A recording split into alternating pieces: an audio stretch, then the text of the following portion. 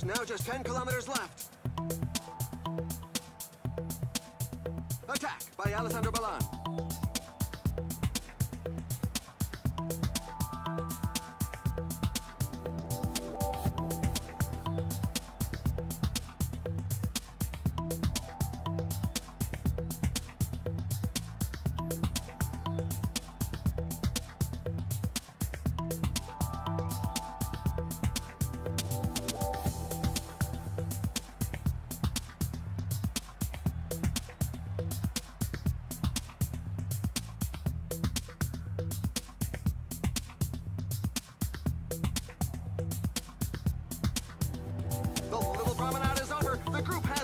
Been overhauled.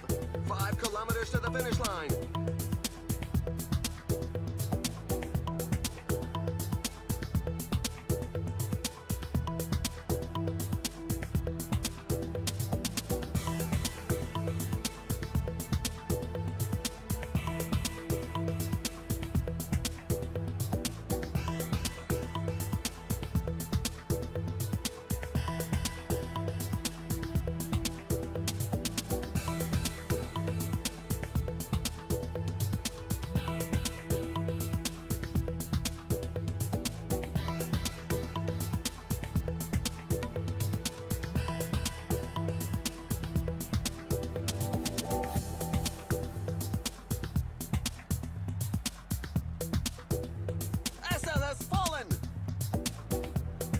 Goes the sprint. The strong men are giving their all.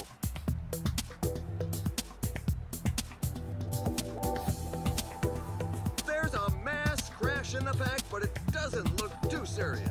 A great win in the sprint of the strongman.